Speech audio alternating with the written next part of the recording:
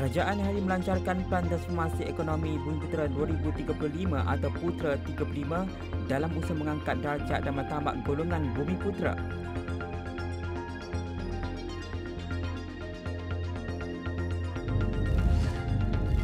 Malaysia menyasarkan untuk mencapai nilai perdagangan 25 bilion dolar mereka atau 109.59 bilion ringgit dengan India menjelang 2026.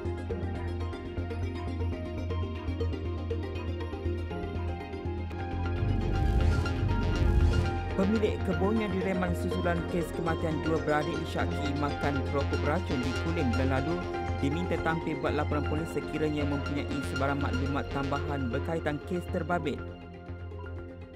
Laporan penuh di saluran 501 dan esroawan.com.